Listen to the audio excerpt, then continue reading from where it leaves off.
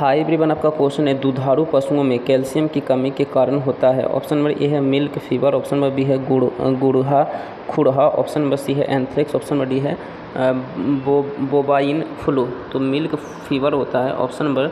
A is correct answer so thank you